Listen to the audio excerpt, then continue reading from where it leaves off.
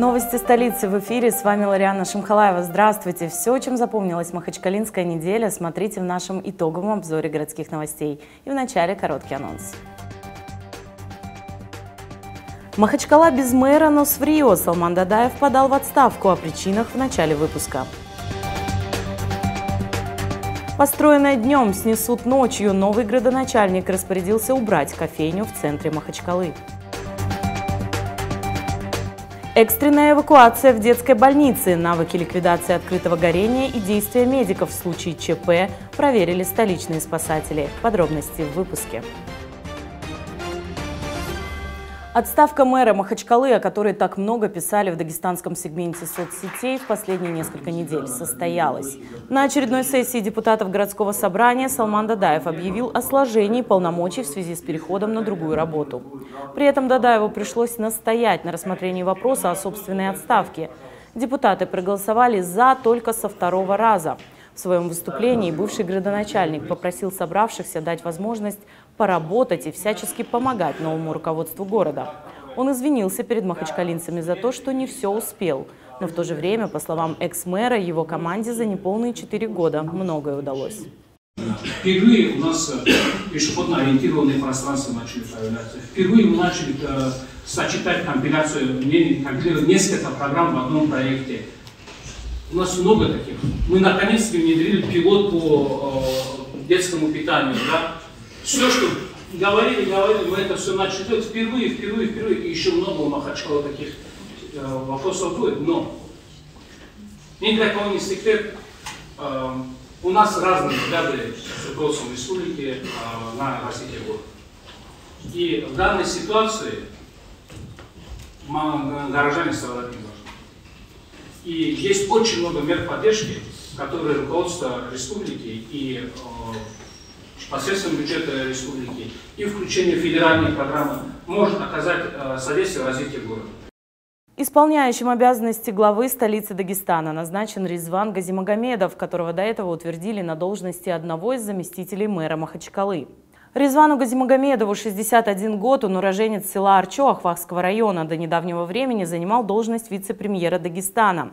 Ранее возглавлял горсобрание депутатов Махачкалы, Министерство промышленности республики, а также работал советником министра Российской Федерации по делам Северного Кавказа. А еще накануне до отставки Дадаев встретился с представителями общественного движения «Город наш». Открывая встречу, он подчеркнул, что представители движения – это люди, любящие свой город, переживающие за него, прилагающие массу усилий для защиты его интересов и добивающиеся успехов в своей деятельности.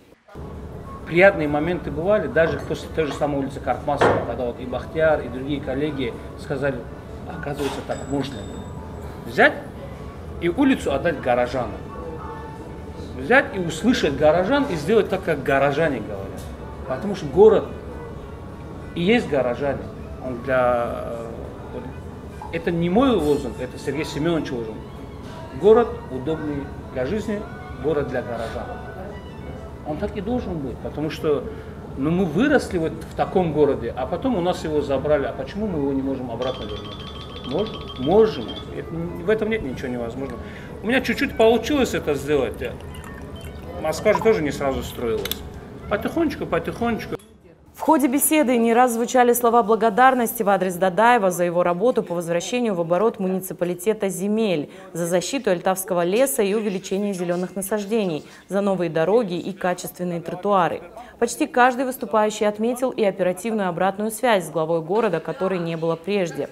В завершении Дадаев передал активистам движения красную папку с перечнем участков, которые администрация отсудила у незаконных владельцев. Сейчас закончилась встреча у нас э, с Салманом Карьячем, уходящим мэром. Он нам, активистам «Город наш», передал очень важную, грандиозную папку. Э, здесь перечень всех участков, которые администрация смогла отсудить э, у незаконных владельцев. И это наследие, которое мы будем хранить и беречь. И мы будем отслеживать судьбу каждого из этих участков, чтобы не получилось так, что эти участки опять ушли от горожан. Спасибо большое за наследие, мы будем следить на страже. Резван Газимагомедов провел на неделе первое совещание в статусе исполняющего обязанности мэра Махачкалы. Градоначальник начал работу с налаживания связей с главами внутригородских районов, отметив, что впредь они будут участвовать в еженедельных аппаратных совещаниях и в обсуждении важных для столицы проблем. В числе первых заявлений и вопросы использования ранее освобожденных земель.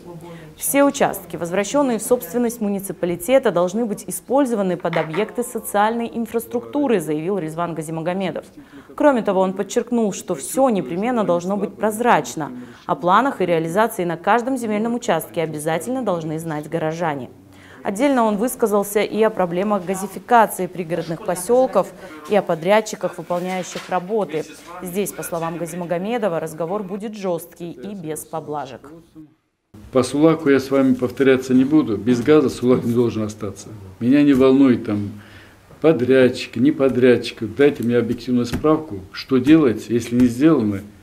Я думаю, мы найдем силы самим решить эту проблему, а кто этим занимался, их отстраним просто от этого дела. Другого подхода не будет. Человек отвечает, он будет отвечать за результат. Говорит, эти самые, находит оговорки, это мы все стали мастерами. Кто задачу не выполняет, ну, извините, идите на более легкую работу.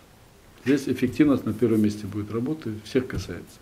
Исполняющий обязанности мэра Махачкалы Резван Газимагомедов поручил незамедлительно демонтировать самовольно установленный павильон в центре города. Кофейня возводилась на территории сквера у памятника Эфинди Копиеву на проспекте Расула Гамзатова. Руководитель столицы заметил, что еще на днях, когда он проезжал мимо, объекта не было. Оперативность поражает, конечно. Это, по-моему, за две, два дня сделали. Позавчера проезжал, по-моему, не было, если я не ошибаюсь. Да, не было. Ну, мы приняли по нему решение категорически убрать, освободить все, привести порядок за счет его же. Документов на согласование не было. Предписание дали, уже сразу. Предписание дайте. На месте также присутствовал совладелец торгового павильона, который сообщил, что объект будет снесен этой же ночью во избежание транспортного коллапса. Ну, после диалога с главой Ленинского района э, объект будет демонтирован. Будем заниматься этим сегодня ночью, чтобы не было никаких проблем по передвижению этого объекта на базу. Когда планируете завершить?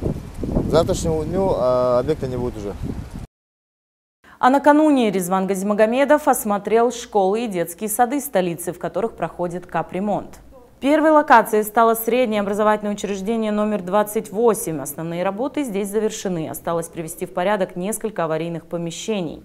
Посетил градоначальник и детский сад номер 59, где в прошлом году был обновлен фасад здания, благоустроена дворовая территория, а также заменена кровля. Представительная делегация мэрии осмотрела и другие объекты. По завершению объезда Газимагомедов поручил своим заместителям держать на контроле ход реализации программы по капитальному ремонту образовательных учреждений города. Еще один объект, который проинспектировал Резван Газимагомедов – подземный переход к городскому пляжу. В рамках комплексного благоустройства городских территорий в текущем году администрация Махачкалы проводит его реконструкцию. Кроме того, на территории Родопского бульвара на участке от Кумыкского театра до улицы Ливаневского будет установлено и уличное освещение. В ходе осмотра городского пляжа Резван Газимагомедов побеседовал с жителями столицы, которые ежедневно посещают набережную. Все сухие деревья, видите, их надо все убрать надо. Если Это вы да. хотите, чтобы этот пляж, Надо пляж, чтобы у вас был красивый, вот эти деревья все Не, будут пляж шло у вас или у нас? у нас. Вот так. Гора-. Да, да, Вот у вас. все деревья, они все гнилые, их надо убрать. Это, это вопроса нет. Это абсолютно правильно, это да. И маленькая такая просьба, вот это наш озон сохранить. Не, Если он красивее станет, вы не против? Не против. Нет, Да, да. По итогам обхода заместителю Бахтияру Улаеву дано поручение проверить все нестационарные торговые объекты на Родопском бульваре, в городском саду и сквере имени Сулеймана Стальского. Также будут проанализированы все разрешительные документы на строительство, выданные за последние два месяца. Ну, Вот это Будда, квартиры, кафе, пристроек, все остановите, пока не ревизировали. У всех документы проверить, прямо сейчас остановите. И все стройки проверьте, дайте мне это реестр, последний месяц-два, что дали. Ни одна стройка сейчас без ревизии не пойдет, хорошо? Тем временем завершается ремонт и на улице Хивская в Махачкале. Реконструкция проводится в рамках проекта «Мой Дагестан. Мои дороги». Протяженность улицы составляет более 300 метров. Все ремонтно-восстановительные мероприятия были проведены в установленные сроки, несмотря на погодные условия, которые временами препятствовали работе. На сегодняшний день уже проведены работы по укладке тротуарной зоны, а также э, подготовлено основание и идет укладка асфальтобетона. В многопрофильной детской больнице, по легенде учения МЧС, крупный пожар. Спасатели проверили навыки ликвидации чрезвычайной ситуации и действия медиков в случае ЧП. В службу пожарной охраны позвонила медсестра, сообщив диспетчеру адрес и координаты. Не дожидаясь приезда спасателей, медперсонал начал экстренную эвакуацию пациентов. Пожар возник по причине короткого замыкания электропроводки в одной из палат кардиологического отделения, вследствие чего создается угроза распространения огня по всему этажу. Помогите!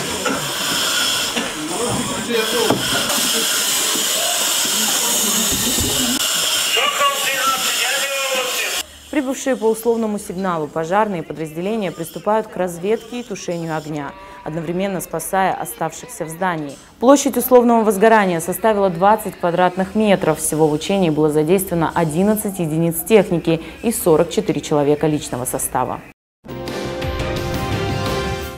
И немного о спорте. Около 150 юных борцов-классиков оспаривали награды республиканского турнира в поселке Семендер Махачкалы. На ковер в спорткомплексе имени Али Алихановича вышли представители 10 команд из городов и районов Дагестана. Возраст спортсменов от 6 до 12 лет. В соревнованиях в основном участвовали новички. Несмотря на юный возраст, начинающие классики уже владеют многими приемами. По словам специалистов, ребята показали хороший уровень подготовки и волю к победе.